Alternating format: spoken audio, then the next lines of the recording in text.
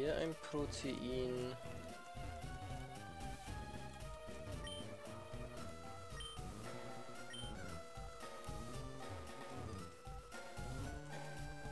Sonst gibt es hier gar nichts. Den da unten haben wir ja schon. Der Power Punch. Der, wenn wir jetzt noch was hätten, was ein Delegator kann, dann wäre das vielleicht sogar eine Überlegung wert bei der bei, bei, ein, bei so mancher Sache. Ja, da unten gibt es nichts mehr, was wir uns freuen können. Das heißt, wir sind mit diesem Stockwerk auch fertig. Weiter mit dem fünften.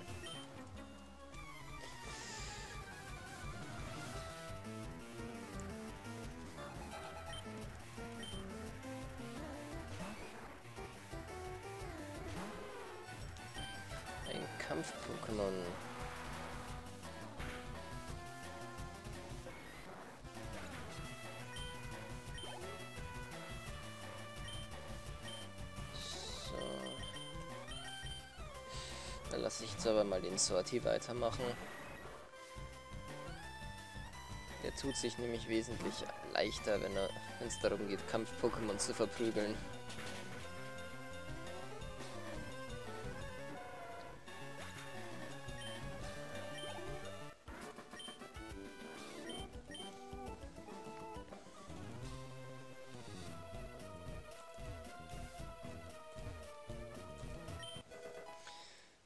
Carbon.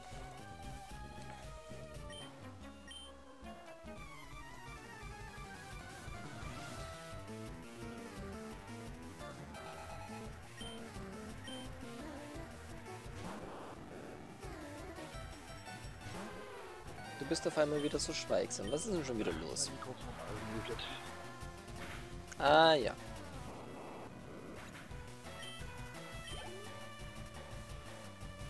Ja.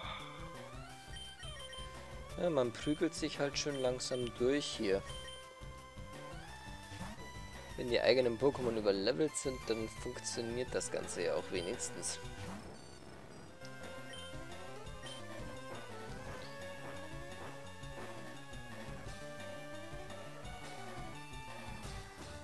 Philo nicht Schwebe? Magneton mal nicht? Nö. Hat er nicht. Hat entweder Magnetfalle oder ähm, was war die andere nochmal? Oder Robustheit. Ach so. Und seit Gen 5 auch Analyse.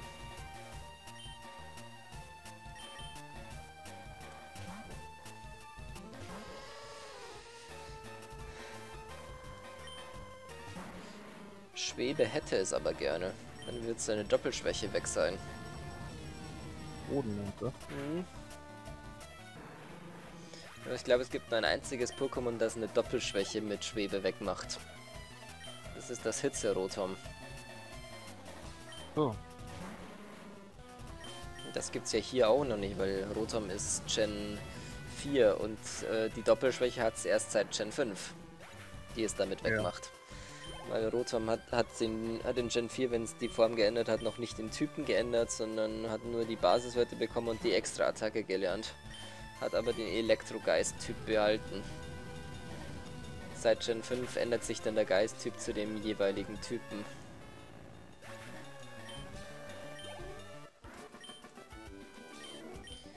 beim Hitzerotum hat man dann dementsprechend Elektrofeuer und das ist ein, eine Doppelschwäche gegen Boden, die durch die Schwebe eben komplett zunichte gemacht wird.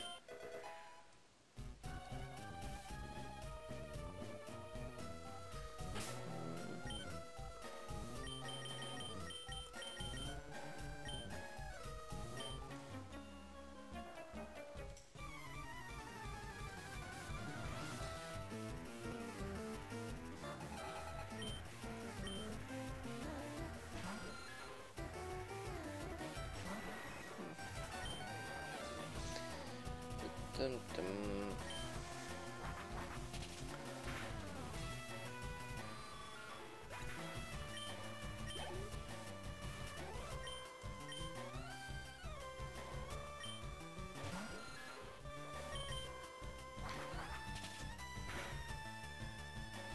Was meinst du, soll ich mir nachher noch Nocturne oder Kikli holen? Oh, das ist eine gute Frage.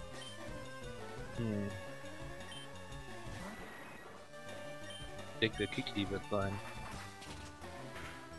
Zu Kikli tendiere ich auch eher, weil Nocturne ist in Gen 3 noch nicht wirklich so gut zu gebrauchen. Äh, weil die ganzen Elementarhieb-Attacken alle noch speziell sind.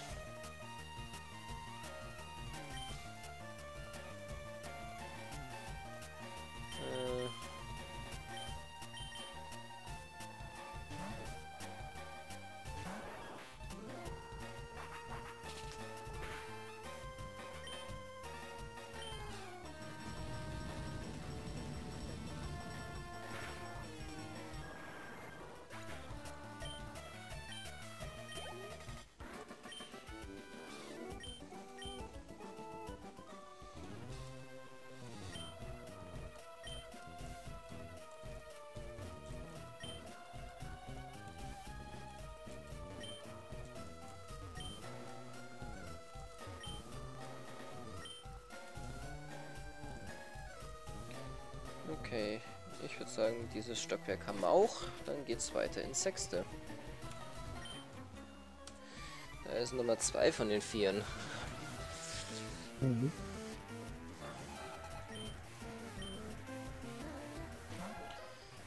Gasso.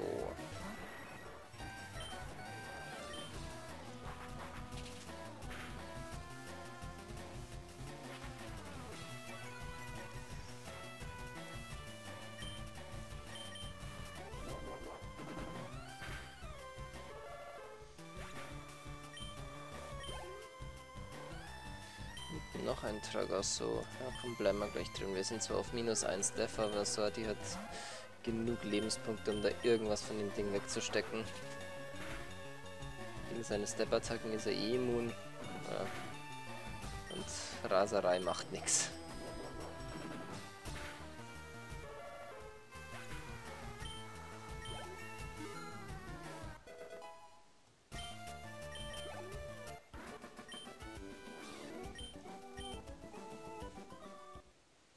Da will er sich wieder entwickeln, obwohl er gar nicht darf.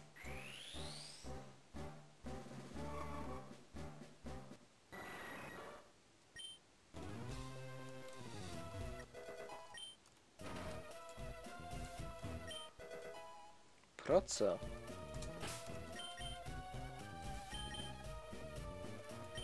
Wer kann den lernen? Niemand.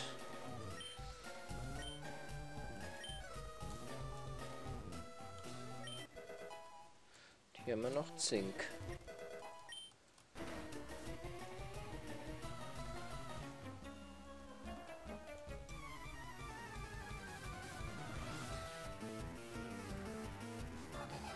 In wievielten Stockwerk sind wir jetzt eigentlich schon? Sechstes? Ja, sechs. Ja gut. Wir müssen ja nur bis zum zehnten rauf.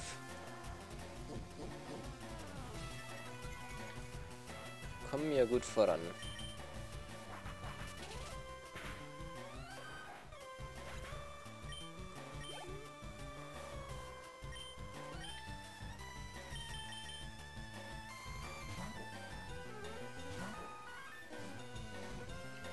Dirki darf sich jetzt auch mal wieder voll heilen.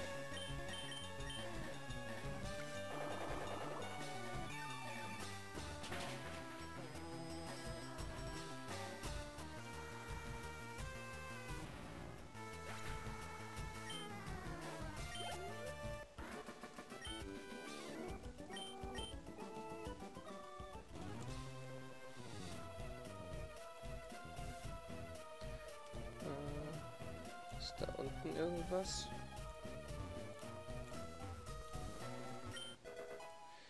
Hier haben wir auf jeden Fall ein Calcium.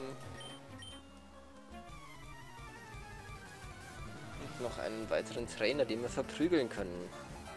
Der Forscher Jonas.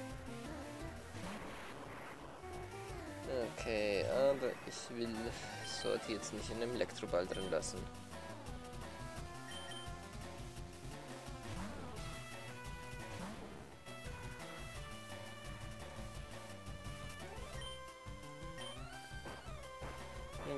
Gut, bei 9 Level Unterschied kann man sogar auch mal einen Elektroball überholen. auch wenn die Init-Basis mehr als doppelt so hoch ist. Wie gesagt, hier war eine Init-Basisunterschied 65 zu 140. Electroball ja. ist ja wirklich eins der allerschnellsten Pokémon, die da so rumrennen. Also von der ganzen Gen 1 ist Electroball sogar das schnellste. Wenn man Megas zumindest nicht mitzählt, weil sonst würde Mega Simsala drüber kommen.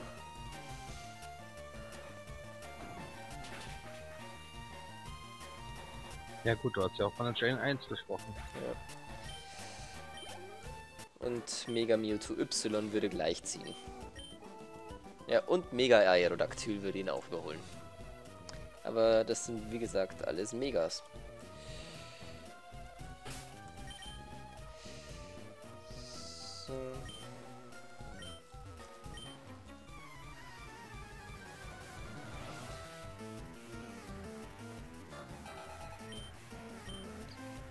Radikal. Das ist voll radikal.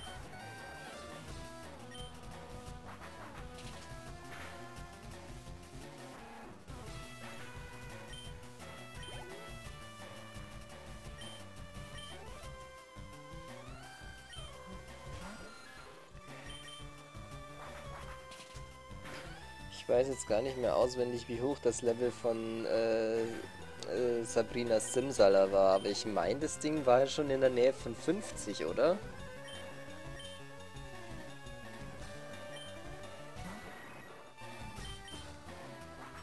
Oh Gott. Ah, frag's wieder. Hey, die KI hat mit Superschall daneben gehauen.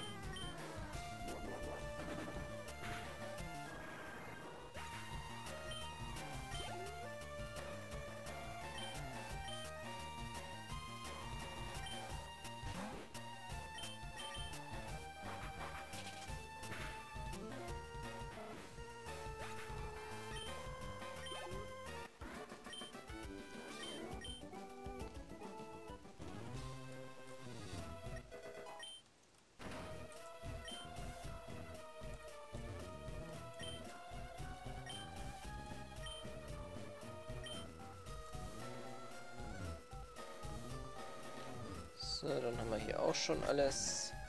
Siebter Stock.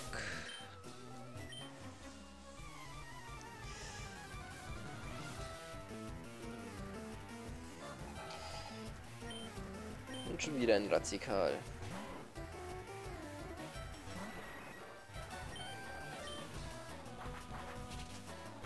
Und wir sind inzwischen zwölf Level über denen.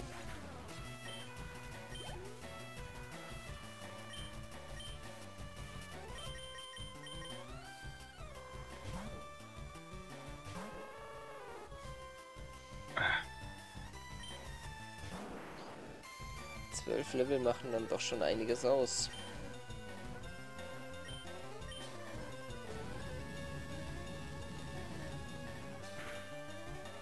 Ja. Noch ein bisschen, dann da ist man doch ein bisschen overpowered. Ja, aber es ist halt einfach so, dass dieses Spiel eine etwas seltsame Levelkurve an mancher Stelle hat.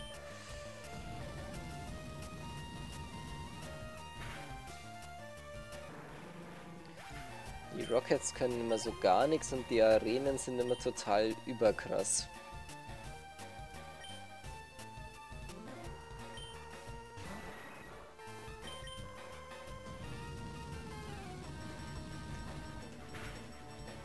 Also zumindest leveltechnisch her.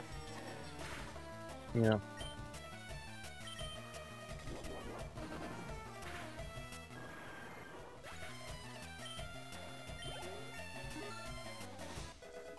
Skadi erreicht Level 39.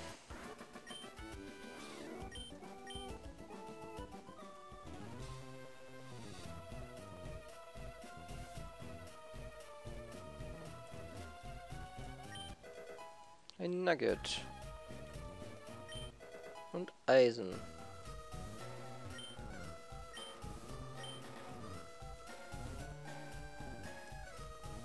Okay, hier gibt's nichts.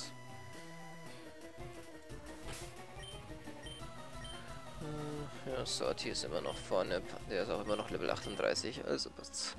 Da ist Nummer 3 von 4.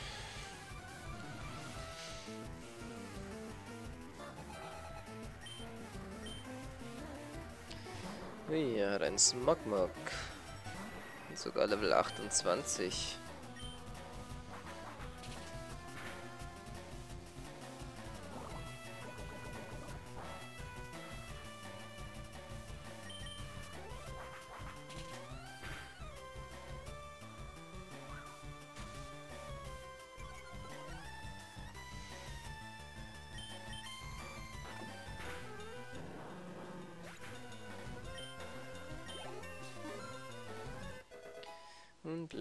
Level 39 für Sorti. Was heißt, er will sich jetzt gleich wieder entwickeln.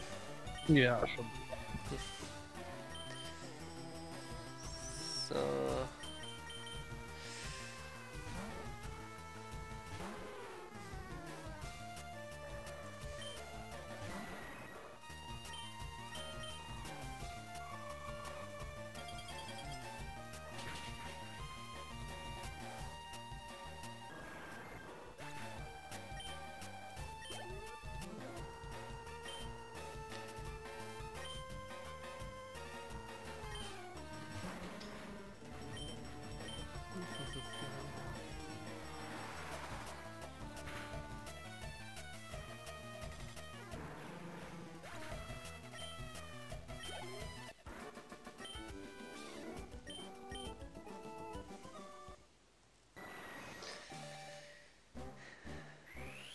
Entwickeln würde sich leider erst nach der Pokémon-Liga.